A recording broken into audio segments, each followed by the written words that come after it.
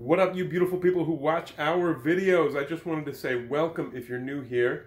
And we're going to do a chug from the Big Mike mug.